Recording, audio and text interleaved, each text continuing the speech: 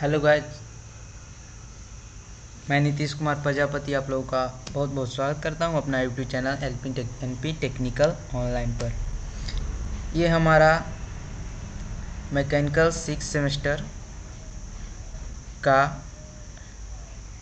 चौथा प्रश्न है, जो कि वी वी आई है। तीन प्रश्न हमने ऑलरेडी करा दिया है। काइजेन, दूसरा हमने कराया था what is A C analysis and तीसरा हमने करा दिया है fourteen principle of Henri Fayol ये हमारा आर से है। What is refrigerant and its classification R subject से है, जो कि बड़ा ही इम्पोर्टेंट प्रश्न है। आने के चांसेस इसके भी बनते हैं इस वर्ष। तो हम पहले रेफ्रिजरेंट के बारे में जानेंगे। रेफ्रिजरेंट बड़ा ही आसान टॉपिक है। आप लोग बस ध्यान से सुनेंगे तो आपको याद हो जाएगा। तो कहता है व्हाट इज़ रेफ्रिजरेंट रेफ्रिजरेंट क्या है? तो रेफ्रिजरेंट क्या होता है? रेफ्रिजरेंट एक वर्किंग फ्लूड होता है। एक फ्लूड होता है जो कि क्या करता है? बॉडी से हीट को अब्स्ट्रैक्ट करता है, यानी निकालता है। तो बॉडी से हीट को अब्स्ट्रैक्ट करता है किसके मदद से? तो इवापोरेटर एंड कंडेंसर की मदद से। इतना ही आपको रेफ्रिजरेंट में लिखना है। तो रेफ्रिजरेंट क्या है? पहला पॉइंट लिखेंगे कि रेफ्रिजरेंट एक वर्किंग फ्लूड है, जो कि बॉडी से हीट को एब्स्ट्रैक्ट करता है या रिजेक्ट करता है। किसके द्वारा? थ्रू इवेपरेटर एंड कंडेंसन के द्वारा। तो यही हम लोग लिख देंगे इसके डिफिनीसन पार्ट में। तो क्या वही चीज़ यहाँ पर लिखा हुआ है। कि refrigerant is a working fluid which जो abstract the heat from body जो बॉडी से हीट को अब्स्ट्रैक्ट करता है and reject heat through evaporator and condenser and heat को रिजेक्ट करता है किसके द्वारा? तो इवेपरेटर एंड कंडेंसर के द्वारा। इतना आपको रेफ्रिजरेंट में लिख देना है। बड़ा ही आसान डिफिनीसन है। अब क्या कह रहा था प्रश्न में? कि इसके क्लासिफिकेशन को क्लासिफाई करें। इसके क्लासिफिकेशन को क्लासिफाई करें। तो अब हम इसका क्लासिफिकेशन देखते हैं। मेनली जो हमारा रेफ्रिजरेंट होता है, वो टू टाइप्स में क्लासिफाई किया गया है। पहला प्राइमरी रेफ्रिजरेंट एंड दूसरा सेकेंडरी रेफ्रिजरेंट तो यहाँ से हम लोग क्या लिख देंगे? Refrigerant is classified into two types classify into two types तो यहाँ से क्या हो जाएगा? प्राइमरी रेफ्रिजरेंट और सेकेंडरी रेफ्रिजरेंट ये हो गया हमारा। अब प्राइमरी रेफ्रिजरेंट किसको कहते हैं? तो इसका पहले हम लोग समझ लेते हैं डिफिनीसन क्या होता है प्राइमरी रेफ्रिजरेंट का? प्राइमरी रेफ्रिजरेंट है जो कि ऐसा टाइप है रेफ्रिजरेंट का, जो कि रेफ्रिजरेशन के प्रोसेस में डायरेक्टली पार्टिसिपेट करता है। किसी की सहायता से नहीं, डायरेक्ट क्या करता है? रेफ्रिजरेशन प्रोसेस में पार्टिसिपेट करता है। यही इसका सिंपल सा डिफिनेशन है। क्या है? अब इसको लिखना कैसे है? तो it is such type of refrigerant यह क्या है? रेफ्रिजरेंट का एक टाइप है। इतना तो आप लोग सब जानते होंगे, इतना लिखने के लिए कि रेफ्रिजरेंट एक प्राइमरी रेफ्रिजरेंट एक रेफ्रिजरेंट का टाइप है। It is such type of refrigerant which जो is directly participate in process of refrigeration जो कि रेफ्रिजरेशन के प्रोसेस में डायरेक्टली पार्टिसिपेट करता है, उसे हम लोग प्राइमरी रेफ्रिजरेंट कहते हैं। इज़ कॉल्ड प्राइमरी रेफ्रिजरेंट अब प्राइमरी रेफ्रिजरेंट में एग्ज़ाम्पल में कुछ लिख देंगे N H three C O two E T C तो ये हमारा क्या है? प्राइमरी रेफ्रिजरेंट के एग्ज़ाम्पल है।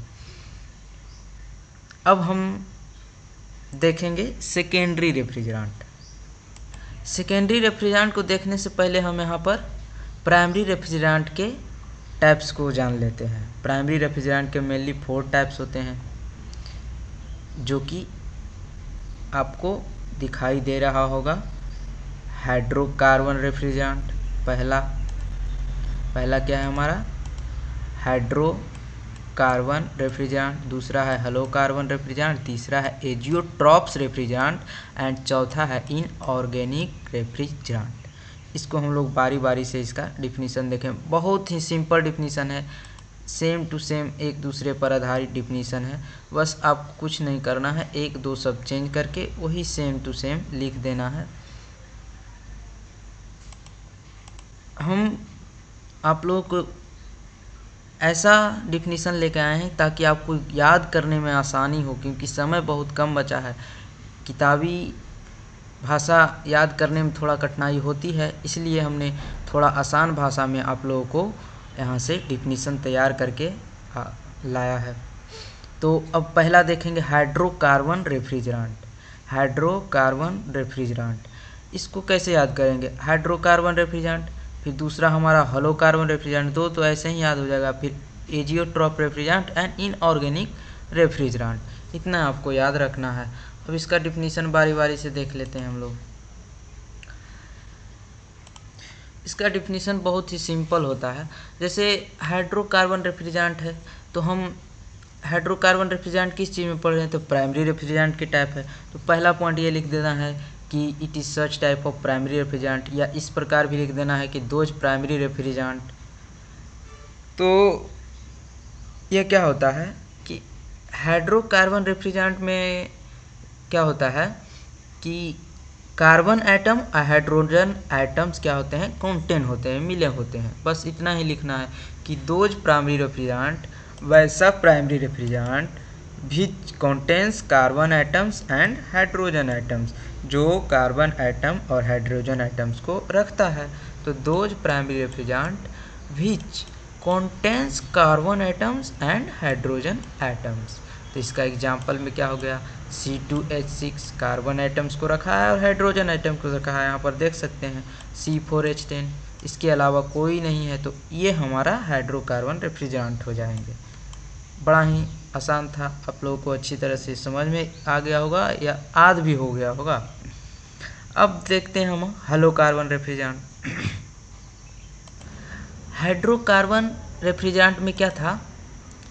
कि कार्बन आइटम्स और हाइड्रोजन आइटम्स कॉन्टेंट थे इसमें एक एटम्स और आ जाते हैं, जिसका नाम है हेलोजन एटम हेलोजन एटम तो those primary refrigerant same to same पहला डिफिनीसन लिख देना है। बस आपको ये ये क्या करना है? इंटर करना है बस।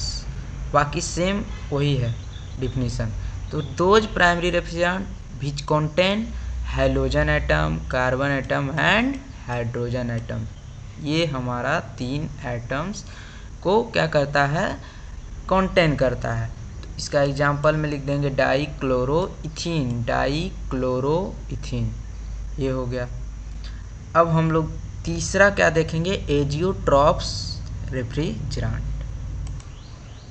एजियोट्रॉप और भी बड़ा ही आसान डिफिनीसन है इसका कि एजियोट्रॉप क्या है? कि दोज प्राइमरी रेफ्रिजरेंट वैसा प्राइमरी रेफ्रिजरेंट तो जो दो रेफ्रिजरेंट के मिक्सचर हो, वैसा प्राइमरी रेफ्रिजरेंट जो दो रेफ्रिजरेंट के मिक्सचर हो। तो those primary refrigerant which is mixture of two refrigerant तो एक रेफ्रिजरेंट हम ले लेते हैं R one zero R one two दूसरा लेते हैं आर वन फाइव टू ये ले लेते हैं। तो ये दोनों को मिक्सचर करते हैं, मिलाते हैं तो क्या बनता है? आर फाइव डबल ज़ीरो तो ये हमारा क्या हो गया? एजियोट्रॉप्स रेफ्रिजरेंट हो गया। दो रेफ्रिजरेंट के मिक्सचर को हम लोग एजियोट्रॉप्स रेफ्रिजरेंट कहते हैं। ये हो गया। अब लास्ट क्या था? इनऑर्गेनिक रेफ्रिजरेंट तो इनऑर्गेनिक क्या है?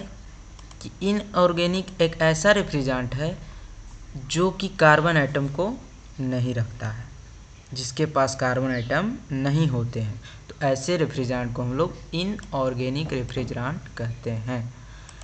इसमें क्या लिखना है? Those refrigerant which does not have carbon atom जिसके पास कार्बन आइटम नहीं होता है, उसे हम लोग इनऑर्गेनिक रेफ्रिजरेंट कहते हैं। इसका एग्जांपल में देख लेंगे। सी O to C O to आप कह सकते हैं कि इसमें तो कार्बन एटम है, लेकिन इसको एक्सेप्शन में रखा गया है। इसको एक्सेप्शन में रखा गया है। एन एच थ्री देखिए, इसमें कार्बन एटम नहीं है। S O two carbon atom नहीं है। H two O carbon atom नहीं है।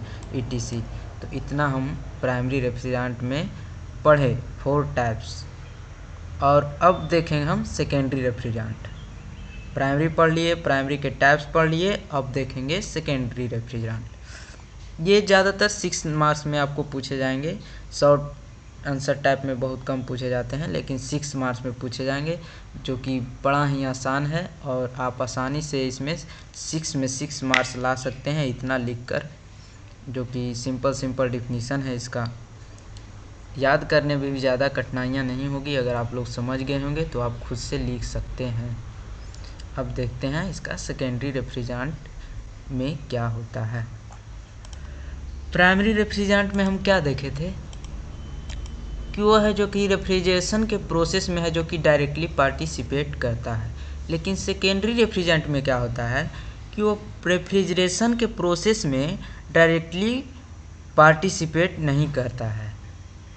उससे क्या किया जाता है? पहले रेफ्रिजरेंट को प्राइमरी रेफ्रिजरेंट की मदद से उसे कन्वर्ट किया जाता है। क्या किया जाता है कन्वर्ट किया जाता है तब जाके वो रेफ्रिजरेशन के प्रोसेस में पार्टिसिपेट करता है तो वही लिखा है यहाँ पर those refrigerant which is not directly participate in process of refrigeration which is not directly participate in process of refrigeration. It first converted as refrigerant by the help of primary refrigerant. Primary refrigerant के help से वो क्या कर, होता है? पहले refrigerant में convert होता है, उसके बाद वह क्या करता है? रेफ्रिजरेशन के प्रोसेस में पार्टिसिपेट करता है।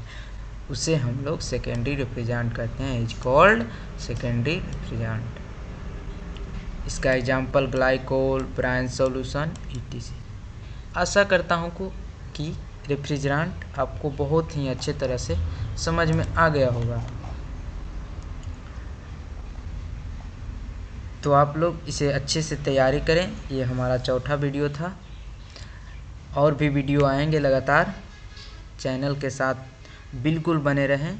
चैनल को सब्सक्राइब कर लें, नोटिफिकेशन को ऑन कर लें, ताकि एक भी वीडियो मिस ना हो, क्योंकि वीडियो लगातार आते रहेंगे जब तक आपका एग्ज़ाम है, जब तक एग्ज़ाम ख़त्म ना हो जाए। और वीडियो सारा का सारा प्रश्न बड़ा ही इम्पोर्टेंट होगा, एग्ज़ाम पॉइंट ऑफ़ व्यू से। आने के चांसेस जिसका ज़्यादा रहेगा वही प्रश्न हम करा कर, कर, करवाने वाले हैं इस चैनल के माध्यम से। तो अपने दोस्तों के साथ वीडियो को अवश्य शेयर करें ताकि उनका भी लाभ उनका उनको भी इसका लाभ मिल सके। और वीडियो को देखने के लिए थैंक यू धन्यवाद।